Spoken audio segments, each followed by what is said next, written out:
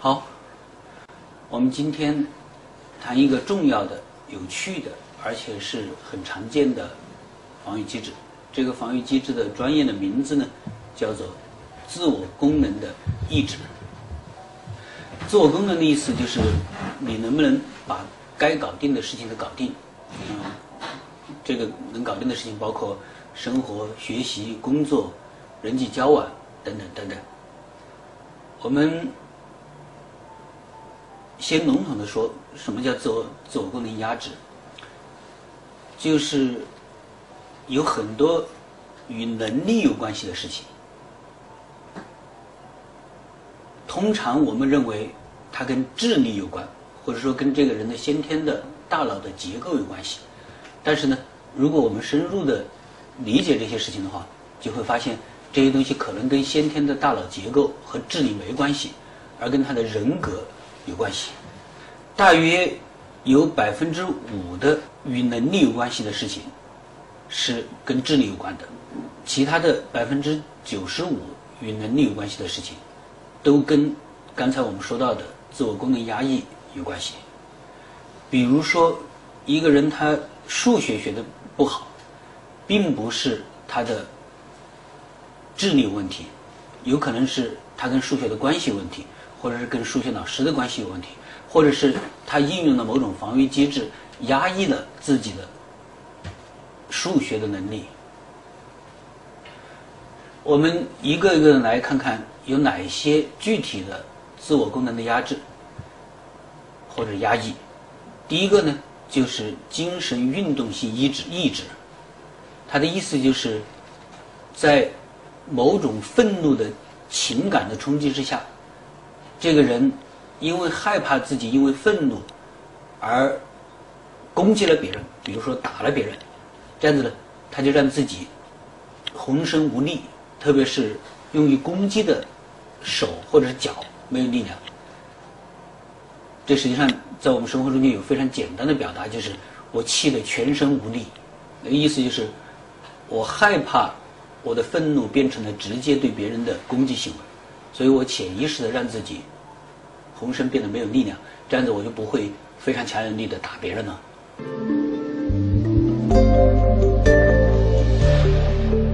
精神运动性抑制和癔症之间的关系，癔症是有两个典型的症状，一个呢就是转换症状，另外一个是分离症状。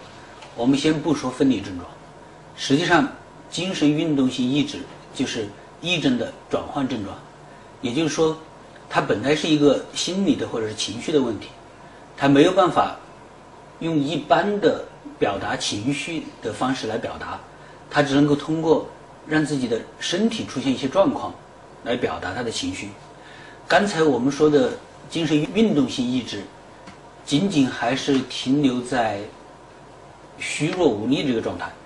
如果再往前进一步的话，就可能导致。躯体的瘫痪，这也叫心因性瘫痪。比如说，有一个画家，他准备举办一个国际的画展，在离画展还有两个星期的时候，他的右手瘫痪，做了各种各样的检查，都发现没什么问题。医生就说：“你应该去看看心理医生。”这个画家说：“我有什么心理问题呢？我觉得我自己很好的。”情绪也不抑郁，也不焦虑，也不强迫，为什么去看心理医生呢？但是过了好长时间，这个问题都没解决，他就撑不住了，就去看了心理医生。然后心理医生的对他的解释就是：你如果成功的办了这次画展之后，就可能让你觉得攻击了你的同行或者是亲人。所以你害怕自己这样的成功，就通过把自己的心理上的攻击性转移到躯体的症状，让你手臂瘫痪，使你不要去成功的组织这样的画展。在这个解释给出去之后，那个画家仔细的体会了一段时间，然后瘫痪症状就好了。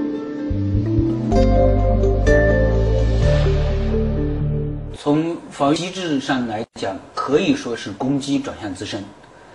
但是转向自身之后呢，它还有一个转换症状，就是它不是让自己出现抑郁情绪，因为抑郁情绪是攻击转向自身，而什么呢？而是用躯体的瘫痪或者乏力替代了情绪变得低落。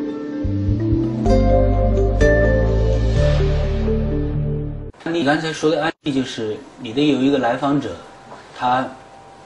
呼吸停止，但是各种各样的检查没有发现任何器质性的问题。呃，在这种情况下，我们就需要考虑是不是心因性的，就是由心理因素所导致的躯体的疾病。我高度怀疑你的这个案例本身就是精神运动性抑制。因为呼吸是一个自主的神经系统活动，呃，如果我们内心有一些愤怒没办法恰当的出去的话，它就会转向自身，并且躯体化，变成一个躯体的这个症状。呃，我相信通过一段时间的心理治疗，可以找到他为什么有这个问题的原因，以及治疗好他这个问题。下一个自我功能。意志的例子就是说话的能力。说话的能力，我们分几方面来说啊。一个呢就是口吃，大家可能看过国王的演讲，那个结巴的国王，他实际上在小时候的时候是有很多创伤性的经历的。动力学的对结巴的解释就是，一个人他如果内心里有这样的感觉，就是他如果。自己流畅的表达了之后，就感觉到自己流畅表达之后的那个愉快感，是某种性欲的满足，或者说那种流畅感制造了对他人的肆无忌惮的攻击。为了回避刚才我们说的这种感觉或者是攻击，他就会让自己说话变得结结巴巴，这样子呢，他的愉快感和攻击的肆无忌惮的那种感觉就会减少。这也会减少他的内疚的感觉。在一个小孩儿，他被母亲或者是其他人过度关注的时候，这些关注就像刀子一样的，会把他所说的话切割成碎片，他就变成了结巴。所以这是还是一个关系的问题，或者说一个关系中间的心理动力学的问题。为什么一些人他说话的时候结巴，但是唱歌的时候不结巴？是因为歌曲。旋律本身，它具有把各个词联合在一起的特殊功能。旋律是不可以被关注力切断的，但是语言会。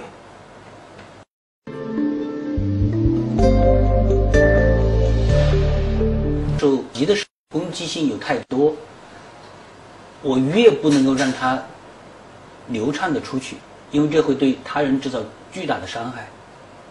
有可能有不可收拾的后果，所以呢，通过逆转的防御机制，这些攻击性会向内，攻击性向内之后，就会把破碎的语言变得更加破碎。如果我们的攻击性不能够象征化用语言来表达的话，我们就只能够用行为。所以这个也是可以是一种退行的防御机制，退行到用行为来表达爱恨情仇的程度，比如说打人，这是在说话的流畅性上面。呃，不过，呃，刚才我们还说到一点，就是一个人他可能不结巴，但是他流畅程度也不够。比如说，在他的话语里面，情感的连接性不够，不够通畅。那么这个呢，也实际上属于说话的自我功能的压制，只不过它的程度比结巴要稍微好一点点。另外一个关于。说话的自我功能的抑制就是说话声音很小，有的人说话呀，你真的是要把耳朵贴到他的嘴巴才能够听得清楚。在一些小组的治疗活动中间，有一些人说话是越说声音越小。他的动力学解释就是，当这个人把他说话的声音的量跟他从事。与性有关系的活动的时候的声音能量等同起来的时候，他的超我就自然会让他不要把声音弄得太大，因为这样别人会听见。一个更加简单的干预是这样子的，就是有一个男性成员在小组里面说话的声音越来越小，越来越小，然后我就很大的声音给他做了一个解释，我跟他说：“你实际上说话可以声音大一点，因为说话不是叫床。”在他把这个话听进去了，并且有所领悟之后呢，他的说话的声音越来越大，而且一直都保持了说话声音很大的状态。刚才我给的这个解释，实际上是把他潜意识意识化了，因为他潜意识认为我说话声音大，就是在从事某种被禁忌的性活动的时候弄出太大的声音，这样让别人知道，他的超我就会对他这种状况进行打压。另外一个自我功能的抑制就是。阅读能力的丧失，我们从小孩身上可以感觉到，他们刚刚开始识字，并且能够知道某一句文字是什么意思的时候，实际上可以获得极大的快乐。有好多成人还保持了良好的阅读的习惯的人，实际上他们在小时候就能够从阅读中间获得很多的快乐。但是，同样的在临床上面，我碰到一些。小孩或者是成年人，他们丧失了阅读功能。比如说，有一个二十六岁的女孩告诉我，她从初中的时候开始就出现这样一个问题：一个应用题，所有的字她都能够认识，但是这个应用题说的什么她不知道；一段语文的课文，每一个字她都认识，但是他不知道整段话说的是什么意思。我们对这个事情的动力学解释就是：如果他理解了整段话的意思，就表示他满足了自己某种被禁忌的性的欲望，而这是被他的超我不允许的。所以，很多的自我功能的压制都是因为这些人把自我功能降低到本能这个层面，然后超我对本能进行打压。他的这个自我功能呢，就丧失了。如果孩子看到了一些他不应该看到的成人之间的活动，比如说性，还有不应该看到的一些比较残忍的画面，像飞机的空难现场或者是地震的现场，但看到这些东西的时候，因为这些东西对他的视觉冲击太大，所以他需要关闭自己的视觉，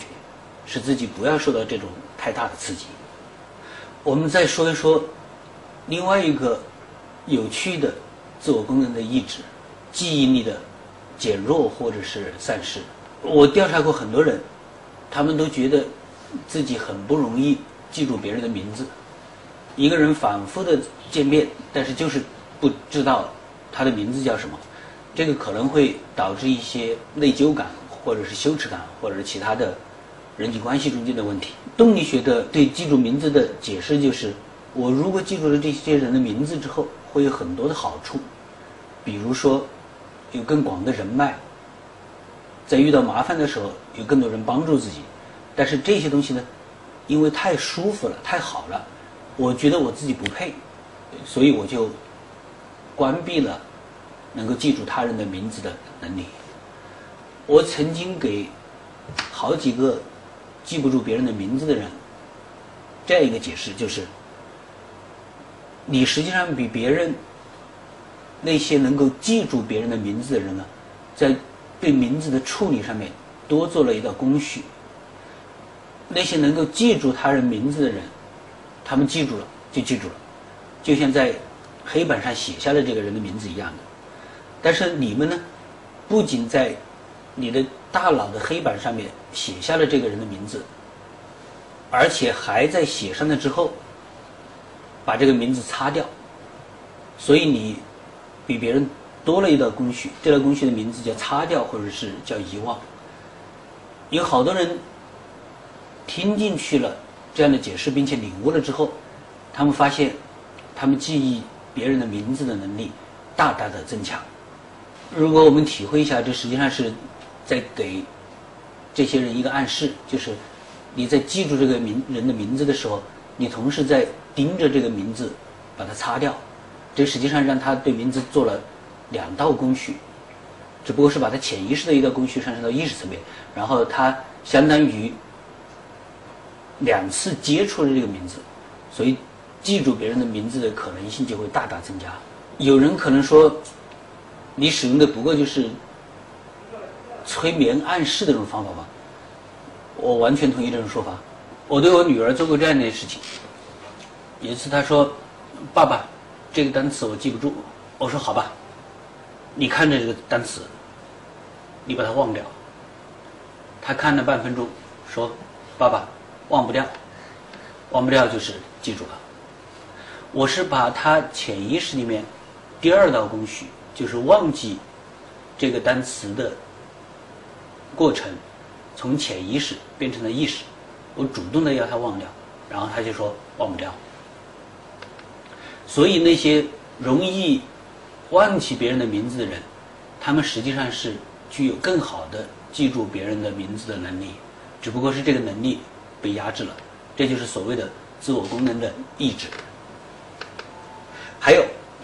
记不住方向，去一个什么地方，去了十次都可能还不是不知道怎么走，然后。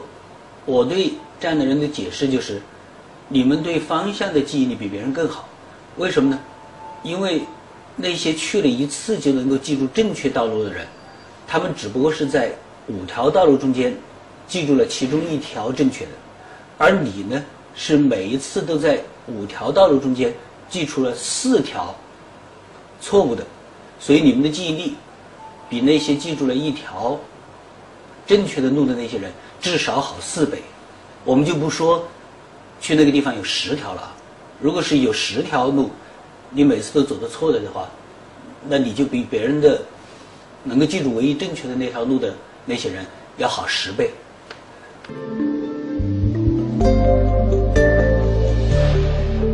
情绪是受攻击性和兴趣力的影响的，攻击性和兴趣力会。跟自我功能有千丝万缕的原因联系，而记忆是自我功能的一种，所以我们的情绪首先是影响了自我功能，然后就影响了自我功能的一部分，就叫记忆。同样的，在我们刚才说到结巴的时候，在结巴情绪激动的时候，它可能会变得更加结巴，这也是情绪对自我功能的直接的影响。还有一个情绪跟记忆有关的证据就是。一件愉快的事情，我们可能会记很长时间；但是，一件让我们可能觉得有点羞辱的事情，就会出现两种完全不同的状况。一种呢就是完全的忘记了，还有一种呢就是可能对这种事情记忆的比愉快的事情还要远久远。刻骨铭心有时候真的是指非常悲伤的事情。以后我们要改一种说法，我们把“刻骨铭心”几个字改成“严重的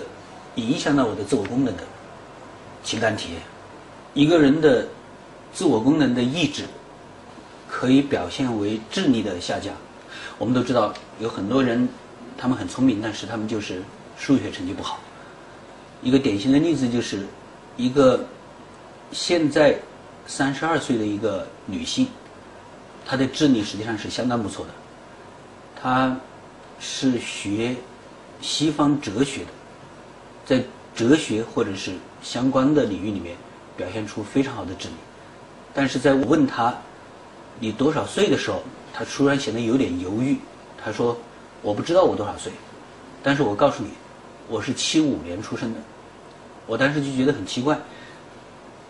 你二零一二减去一九七五，不就是你的年龄了吗？然后他脸上露出非常恐惧的神情，他说：“我不会这样的加减法。”然后他就告诉我说，他从小学的时候开始数学成绩不好，超过两位数的加减法，他都没有办法通过心算来得出正确的结果，然后数学成绩永远都是班上最差的，包括在外面买菜，涉及到找多少零钱这样的事情，他也没办法心算，所以他去买菜的时候，他一定要带一个计算器。以后数学成绩就成了他的噩梦，只要一说数学两个字，或者是上数学课，他就处在高度的焦虑的状态中间。我对他的解释是：对你来说，也许算出来一个简单的数学的加减法的问题，相当于你突破了某种不能够突破的禁忌，所以你关闭了自己的数学的这个功能。但是因为跟这个学生接触的时间比较短，所以我不知道这个解释最后对他有没有作用。但是我相信，一旦把他被压抑了的数学的能力，通过精神分析的解释技术挖掘出来之后，他可能会有比他人更强的数学的能力。还有一个关于现实判断的自我功能的意志的问题，有一句名言被很多的男孩奉为真言，就是在女孩说不的时候，一定是心里在说是。所以有一些男孩在追女孩的时候，他们可能在女孩坚决的说不的时候，他们还穷追不舍。这样子显出了某种赖皮的那种感觉，呃，实际上，女孩也有时候会说不的时候，内心里面想的真的也是不，呃，这样的男孩可能会导致巨大的跟女孩交往的问题，比如说，有一些男孩，他们已经处在这样的跟异性交往的过程中间，就是只要是到哪个有女孩的场合，那些女孩一看到他们，他们就全部作鸟兽散，就是全部都离开他了，呃，但是由于这些人的现实判断的能力降低，他们会把女孩对他们的厌恶理解成女孩非常喜欢他们，所以他们会保持自己的这种不讨人喜欢的样子而不变。还有一个自我功能的抑制，就是我们一般人都具有适应环境的能力，但是在有些人身上，他们适应环境的能力可能会变得非常的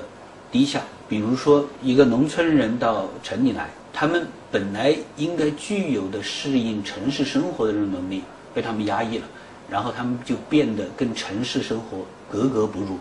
以至于几年或者十几年下来，他们都会保持他们在农村生活的那个状况。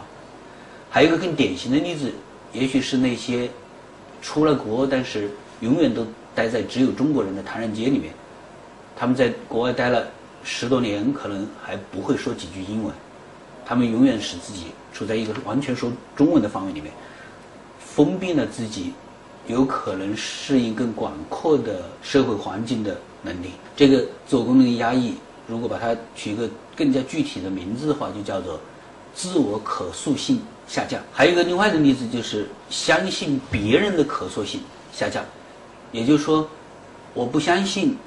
我具有改变他人对我的态度的能力。一个经典的例子就是，两个女孩一起分到一个公司，经过若干年之后，一个女孩呢还留在原地，另外一个女孩节节攀升，有更高的位置和更多的收入。那个一直留在原地的女孩对其他人说：“另外一个节节高升的女孩，之所以能够这样子，是因为。”他适应了潜规则，跟老板上了床，是用说服、睡觉而说服的这个意思啊，用这种方式导致了别人提拔他。很显然，我们看得出来，这个一直都没有升职位的这个女孩，处在一种相信他人不可改变，除非我跟他睡觉的这样的状态。还有一个关于自我功能的意志，有个例子是这样子，就是。有一个女的，她对自己预测说：“我只能够跟一个随意的场合和时间认识的男人发生性关系的时候才有快乐。比如说在酒吧或者街上遇到一个男人上床，这样子才能够有足够的性的满足。如果让我去循规蹈矩的找一个男人约会上床，那么一点乐趣都没有。为什么会这样子呢？是因为这个女孩小时候。”成长的家庭的环境非常的单一和枯燥，所以她会觉得，如果我跟一个男人的关系也是循规蹈矩的发展的话，这相当于我还是停留在小时候的那个状态中间，跟爸爸妈妈没有分开，所以她需要突破通过大尺度的突破规则，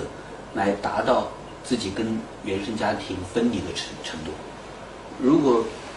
把这个状态做一下总结的话，就是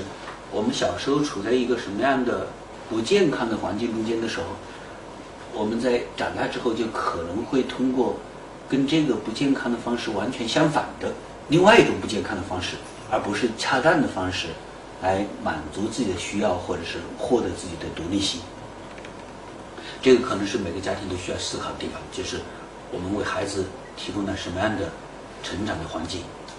有很多人在初中和高中的时候学习非常的勤奋，然后到了大学之后呢，就完全的不学习，六十分万岁。动力学的解释就是这样子：当年我如此认真的学习，是因为家里的要求，然后在以后。厌恶学习，甚至厌恶一切正经的事情，包括以后厌恶工作，都实际上是表示我离那个家庭很远了。所以，这是一个提前很久打了伏笔的事情。父母亲过度的在孩子小时候的时候强调学习的重要性，实际上是为了这个孩子以后厌恶他的工作做精心的准备。所以，要破坏一个人对什么东西的兴趣。我们就可以不断的对这个人强调这件事情的重要性。这是人类做的经经常做的一件非常傻的事情，就是把自然而然的东西赋予一些非自然的意义，把来自这个人内心的天然的动力变成来自外界的强加。好，另外一个自我功能的意志就是判断力下降。在我们很多人都认为。某一个犯罪分子经到了十恶不赦的程度的时候，另外一些人可能还会用同情的态度来说，这个人也是可以改变的，就是反映出了一种虚伪的天真和慈悲。这样的人，他的心理动力学的解释就是，他会认为，如果我判断这个人是十恶不赦，那就表示对这个人的巨大的攻击，这是无视客观事实。所以呢？他们反向形成式的，让自己对这个人充满同情。我在想，如果一个法官他使用这样的防御机制的话，那可能是会让这个社会充满更多的危险，因为有很多人应该关在监狱里面的。但是如果一个法官有这样的假慈悲的话，可能会让这些人继续在社会上行走，这个可能会对平民百姓造成很多的伤害。